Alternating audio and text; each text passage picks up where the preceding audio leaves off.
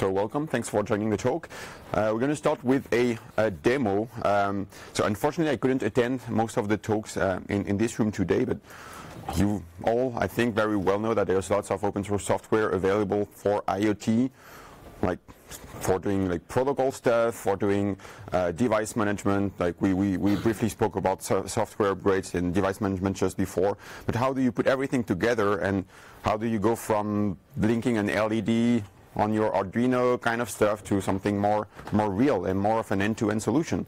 Um, what if I wear um, UPS or FedEx or like I should probably name a, a third one just to make not, not make any uh, unnecessary publicity. And I want to provide my customer with a solution to to do asset tracking management. Right? I have those super valuable parcels with um, I don't know, like say this is um, Mona Lisa or this is super expensive food or um, medical equipment and the customer needs to know whether the package is traveling safely and not being dropped, not being opened, uh, temperature remains in a, in a given uh, range, etc.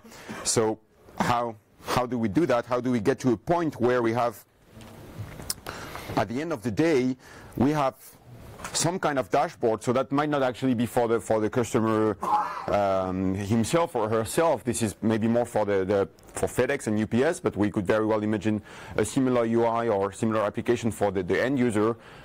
I want the list of my trucks, the list of parcels within each truck, and the live telemetry coming from from the parcels, right? And so apparently the room here is way uh, uh, colder, at least if, if, you can say that, than the, uh, the building K where we, we are doing the same demo at the, at the Eclipse booth. But this is literally the, the, the telemetry coming from the parcel. And maybe this is something that's sensitive to light. What happens if I open up the box? Uh, no, no, no, not supposed to happen. This is way, uh, way, uh, way too much. so that's basically the use case. How do we how do we implement it and, and, and, with what with what kind of technology? So maybe let's try with um, some a couple of slides as, as, as a support for the conversation. Uh, the idea really is like we, we want to track the, uh, um, the, the goods and like all, all, all the parcels so that if I'm UPS or FedEx, I can optimize maybe the way that the, the, trucks will, will deliver the parcels, like the ones that are more, more critical. Uh, I can pro, um, sell um, some services to, to my customers. And I mean, all in all, are really like generating value, but in the right way, right? I mean, maybe this means money for, for the for the for the company involved, but this means ideally like maybe a better world. Like that's what IoT should be about. So the way it's implemented, uh, and that some of the, the, the projects I'll be sort of name dropping in the presentation. Um, is so it's all the way with the, the, the sensors. Uh, some of you might have spotted uh, the, the, sensor within the box. Obviously, it's not just a Lego uh, plastic box. This is a, a TI sensor tag. So like this is really an, an off-the-shelf uh, Bluetooth low energy um, uh, beacon, if you will, that has humidity, uh, pressure, temperature, etc. sensors on it. And the goal is basically to take the, the, the, telemetry from this guy all the way to the internet. So how do we like uh, bridge the, the gap there? First, it, it starts with a gateway. So either in the warehouse or on the trucks uh, themselves, you would find a gateway providing basically the, the, the connectivity on one hand, the gateway that that's really what a gateway does, passing uh, some some messages uh, from one interface to the other pretty much. On one side that would be Bluetooth low energy right to to, inter to interact with the, with the sensors. And what you want at the end of the day is send the data over over the internet. So for that we rely on Eclipse Kura. And I, will dive a bit deeper into what it is but think about Kura as um, OpenWRT on steroids I would say. It's basically a good old router kind of stack. And like if you want to use uh, if your board if your device if your gateway has Wi-Fi and a cellular modem and ethernet maybe you want to configure all those interfaces so that uh, maybe the, the, Wi-Fi behaves as a hotspot and, and blah blah blah. So Kura would certainly do, do that but also allow you to create custom applications on top of and, and deploy your, your own applications on top of. In my case, it's a very simple app slash plugin that will every five seconds or so uh, discover all the all the sensors in proximity and how um, depending on how many packages I have for all of them I will like grab the telemetry data and do what? Send the data to the cloud. And what's um, what's on the cloud side uh, what Kura does is basically use MQTT as the protocol for the communication one option would be uh, use uh, like commercial uh, IoT clouds out there. Basically, all of them support MQTT because MQTT is sort of like the, the de facto standard now, open standard for uh, all things um, um, IoT messaging. Or you can rely on Eclipse Kapua, which, which is basically the, uh, the integrated platform for all the all the services that you basically require on, um, on your um, server side, all the way from device management to storing the data to having um, a digital twin API, and we'll talk about more maybe about digital twin later on. This is all those services, so basically all the Docker containers uh, sort of that, that you need that are IoT specific would be part of Kapua and in my demo and what you've seen, basically the, the, the dashboard that you've seen is a simple HTML and JavaScript application that you can see the screenshot of uh, over there that talks to the uh, Kapua APIs to retrieve the list uh, of trucks, retrieve the list of uh, parcels, etc., etc. And Kapua being based on, uh, on, on, on containers and being cloud native, if you will, uh, is meant to run on things like Kubernetes, or in my particular case, this is uh, OpenShift running on Google Cloud. But it could be like literally uh, any kind of uh, variation of uh, maybe you have the, the, all the microservices uh, spread across different data centers, and you have um, and you want to scale up your, your data store. you can easily do that, etc., etc. Um, so that's kind of the the end-to-end, um, yeah, the end-to-end solution. And it sort of illustrates that when you really care about building an, an actual end-to-end IoT solution, there's yeah, basically three stacks of softwares, three, uh, three major um, areas where you need to, to, to, work and start uh, building software for. One is the, the, the, devices themselves, like the what I call the, the constraint device is really the, uh, the microcontrollers, if you will. Um, anything that's not necessarily or very likely um, not IP capable uh, kind of device, uh, which very likely will use a gateway uh, to to get the connectivity. And so what what what's in the scope of a gateway? We'll uh, we'll talk about that in, in, in just a minute. And then the cloud. The goal being, I, I briefly mentioned like, especially for, for, for servers, there's lots of like IoT cloud platforms out there. Uh, very commercial, very close, very proprietary, um, as opposed to if you if you are to build an IoT solution I would think that, I mean, the, the server uh, especially would need to be like if it is based on open source and based on open standards, it means that it's way easier to start thinking, oh, you know what, I I don't quite like MQTT for my use case. It just doesn't scale, or it's like that's not the protocol I want to use. I want to use, say, CoAP. If you if you have a um, a um, uh, oops a server stack that's like pretty modular and even more so open source, replacing the connectivity layer, your broker by something different shouldn't be a big deal. Good luck with that on Azure IoT or AWS IoT, and etc. Right? And I mean that's the whole point of, of, of, basing the, the IoT on top of open source. I don't think I need to um, uh, yeah, to convince you about that. So what do we do at Eclipse uh, around IoT? Some of you might be already using, uh, I would hope so, uh, some of the stuff coming out of Eclipse. Uh, we have 30 different open source projects, um, all the way from fairly basic building blocks, if you will, like Eclipse Paho or Eclipse Mosquitto. If you guys care about uh, MQTT, you've used those clients uh, and, and server um, um, uh, pr projects uh, res respectively for doing your MQTT stuff. And we have yeah, um, a, very, a very active community that basically try and address the three stacks that, that agents mentioned. And if you look at, at, the history, and this is where certainly the, the, the IoT community is headed, um, we're going from like having very small, very uh, independent building blocks like a device management stack that you would put in your embedded uh, device firmware to a, um, um, a protocol, uh, a server-side implementation of the MQTT protocol, etc., etc.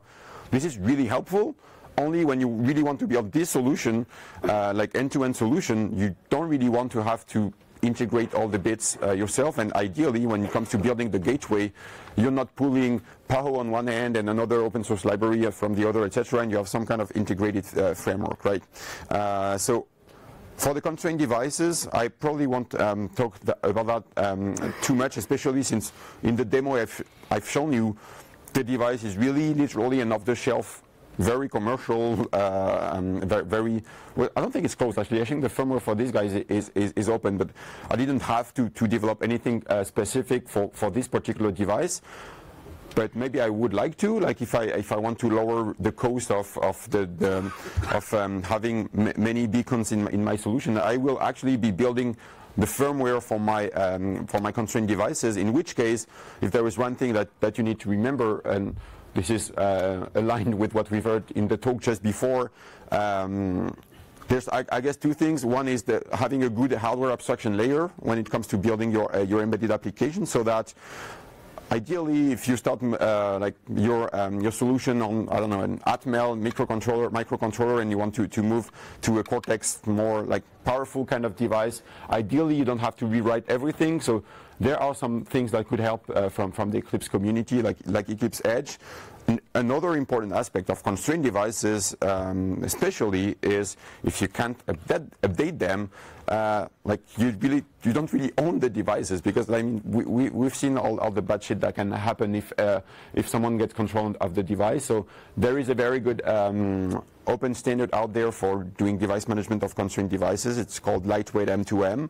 You can get the reference implementations from from Eclipse and uh, so that's called Eclipse Wakaama, uh, and there's actually lots of um, um, cellular, uh, in particular cellular modules uh, manufacturers who already bake lightweight M2M into the, the firmware. So like by default, they're, they're, already like you can already start man managing them from your um, from from from server and do over-the-air upgrade like like we've seen just before. Gateway-wise, what are we talking about? We're talking about, like I said, an OpenWRT kind of stack on steroids. And what do I mean by steroids is like we care about IoT, so not only do we want a router to provide the connectivity, we want to provide the connectivity to um, to, to, to, to, sensors, we want to provide uh, reliable connectivity on the shop floor if we care about industrial IoT use cases. So th this is one.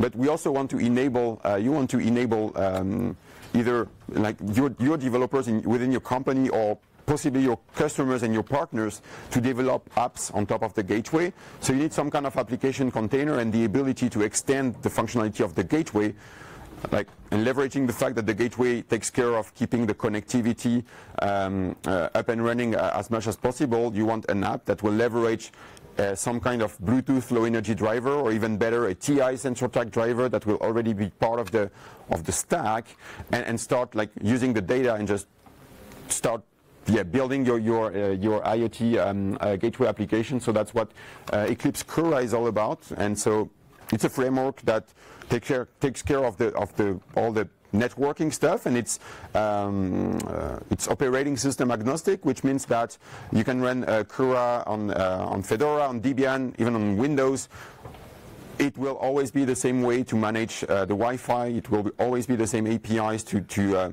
uh, to configure a, a, DMZ or whatever you want to do purely from a networking perspective. And then on top of that, again, very much operating system and hardware agnostic. You can start tinkering with uh, and playing, uh, retrieving the, the, the, location of, of your device through the, the standard GPS API of Eclipse Kura. You can start interacting with a Modbus um, um, industrial piece of equipment. And that's really the, the, the scope of, of Eclipse Kura. And it's being used uh, by, I mean, you can run it on any kind of Linux-based uh, or Windows-based device, or you can even get off-the-shelf gateways that have uh, Kura built into them. And as opposed to this guy, which I very likely don't want to put on the actual roof a, of an actual truck. You can probably get like a ruggedized version of a gateway that runs the very same software uh, that I'm demonstrating here, right? Uh, so this is not a talk about like home automation, but like if you care more about a specialized distribution of a, um, um, a gateway stack for home automation, you may have heard about OpenHAB or Eclipse Smart Home. So this is essentially like a targeted um, uh, like all, all, the drivers you would need to do Philips Hue and whatever else um, uh, home automation gadget you have, you can you can get from from Eclipse Smart Home. And then I'll keep the last five minutes or so of my talk to focus on maybe the, the, the area where it's, um, it matters the most to, to have um, uh, good open source uh, stuff available. This is on, on, on the cloud side of things. And so we have, again, there we have lots, lots of building blocks. and we're working towards an, an, an integrated stack. Uh, one really interesting area is around uh, device management.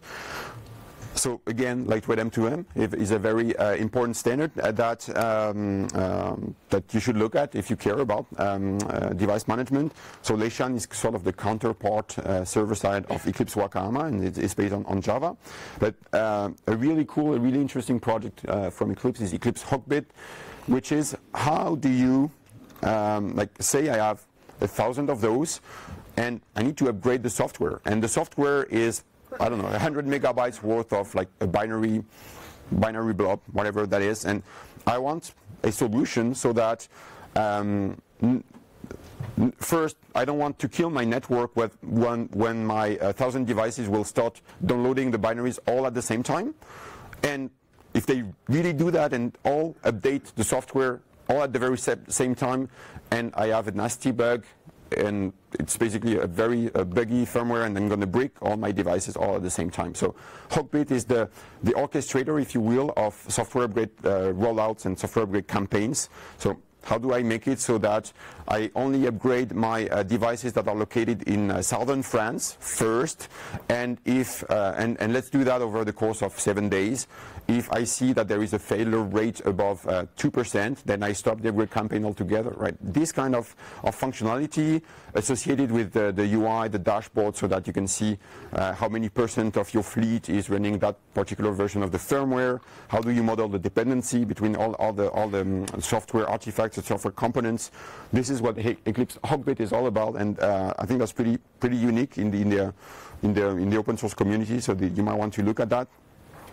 It provides all, all kinds of APIs for, for integrating and, and creating your own agents if, if what you want to do is uh, manage and operate uh, uh over lightweight M2M, you could certainly do that. Maybe you want to use hawkBit to also roll out uh, new Docker containers updates at the edge. That, that could certainly work as well. Um, but that's kind of like yeah, you can certainly deploy hawkBit, deploy um, uh, deploy Leshan, deploy Eclipse Mosquitto so that you have an MQTT broker. But at some point you need some integration and you need some common um, uh, notion and common knowledge of what's what's a device in the first place. Like I don't want to duplicate the effort of authenticating my devices when they start talking to my MQTT server authenticating them when they want to do a software upgrade, authenticating them when there is uh, a need for storing the data that they just sent. So this is what uh, Eclipse Kapua is all about. So defining all the all the APIs, all the microservices, if you will, that are required as part of the stack. So what, what is, um, what should be in my device registry in the first place? What, what's a device identity? What's required to uh, uniquely identify the device, to, uh, to have the, the security credentials, and have this in a very uh, like abstract way. So that's, that's Kapua. And um, so once Kapua has all those like microservices defined, it's fairly easy to provide some kind of UI, management console, management dashboard, which I could actually, um, this is a part of the demo that I should have um, shown earlier, but basically, how do I like navigate um, my fleet of devices. Uh, truck 3 with the green light is actually that particular track here. And I could, um, I could go, uh, if my uh, session uh, is still uh, valid, and I would hope it is,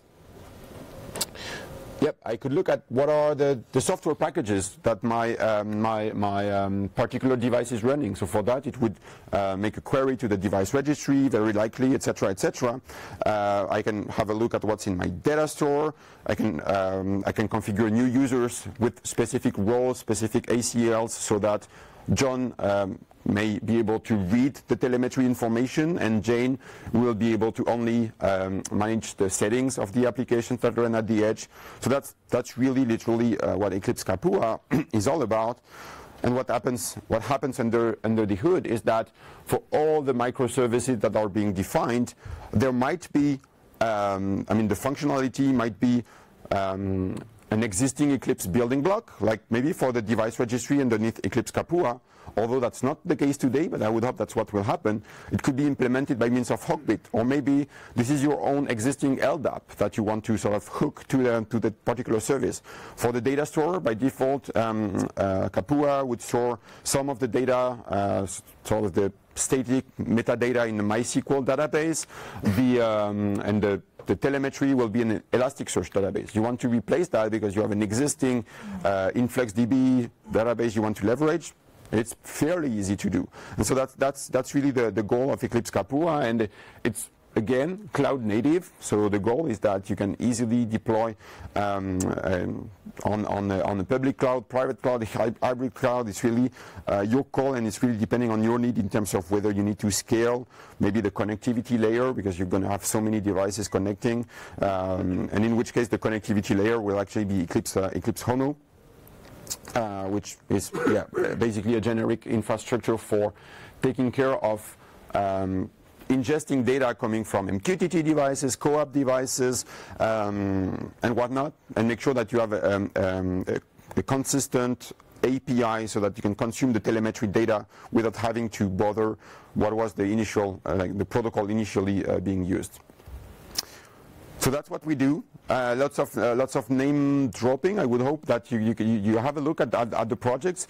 There's lots of companies uh, that actually, and for me this is sort of gold when you have uh, like a, a, company that start saying that they actually start shipping products that, that are being based on on Eclipse IoT, and there's certainly a lot for, for the gateways. Like I said, you can get off-the-shelf gateways that support uh, like that are compatible, if you will, with Eclipse Kura.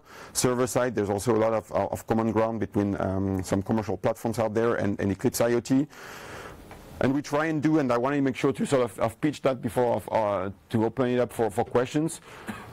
There's a lot happening in our uh, open source community. So Virtual IoT Meetup, if you want to, like every other week, we have webinars. Uh, if you want to learn about what's happening in the open source IoT community at large, uh, it's uh, yeah, it's literally uh, a commercial uh, pitch free. It's really like we want to hear about open source, cool open source stuff being built. So check that out. we do test beds. This is actually a test bed meant to demonstrate um, how the, the technology can be used for real real use cases.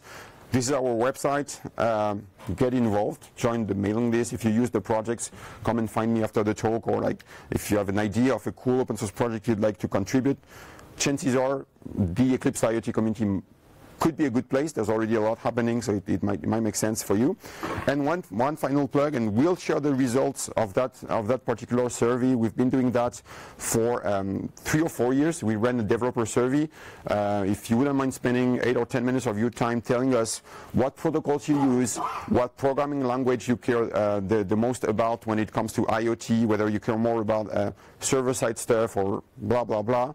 Uh, this is open until I think the end of next month. Uh, the, all the data sets uh, are going to be published, so it's not like we're going to make uh, money out of it or anything. It's more about understanding the trends, understanding what should be in the IoT dev room next year, uh, and, and things like that. So with that, I think that's uh, the end of my presentation. this is where to find me, and I have some time for questions. Great. Thank you. And the demo worked. Yeah. so yeah, we have a few more minutes for questions. Everything was very clear. You mentioned digital twin. Right, that, that's correct. Uh, thanks for that. Uh, the question is, I, the question is, I did mention digital twin, uh, although I, um, yeah, I, I briefly passed over uh, over that as part of the um, the presentation. My bad. Uh, the project name is Eclipse Ditto. It is fairly new, but uh, the code is there and it actually actually works. Um, what's the idea behind digital twin? One thing that I have been doing here, like as part of my demo, is, well, I, I want to retrieve the telemetry coming from, from, the, from the sensors, and it turns out the sensor is actually connected at this point, so like I get data. Um, one thing that, I, that a digital twin API allow you to do is basically have a digital representation of your physical asset so that it, at the end of the day, it doesn't really matter whether the device is currently accessible or not. You still want somehow to know what's the latest temperature that the device has reported. Or if we're talking about a, um, an electric uh, a light bulb, the light bulb might not be uh, connected at a very uh, at a given time, but yet I want to toggle the switch on, off, and have the digital twin represent what the physical state is or should be should the device be connected. And this is the scope of like digital twin in general, and there's lots of platforms out there who have their own sort of like way of doing digital twin, and Ditto yeah, is trying to, to do that as well. Uh, but yeah, you should check it out. There's lots of documentation already there, lots of um, demos, and this is actually a, a, a note to, to myself. I should try and integrate that as part of, of the demo to, to see what happens when I just remove the battery. Can we still do useful stuff? Yeah. You can take one more question. This one over there. Um, is there a chance to model some ownership relation as a user? I own Right. that device. Right. So what's um, do we somehow address the um, uh, yeah modeling the ownership of the device and ownership therefore of the data? I guess uh, uh, this is not. I don't think any of the Eclipse projects um, do that. Uh, we have um, an interesting initiative called Eclipse Vorto, which might be like the closest thing to to to, to allowing that, and basically have yeah models to describe the capabilities of the devices. And I guess you could combine that with maybe other models, other um, descriptions of who's honing what and what's kind of the maybe the hierarchy of the capabilities, hierarchy of the data, and then map that to to the roles in Kapua and, and stuff like that. But um, yeah, I, yeah. Okay, thanks a lot. Thank you. Thank you very much.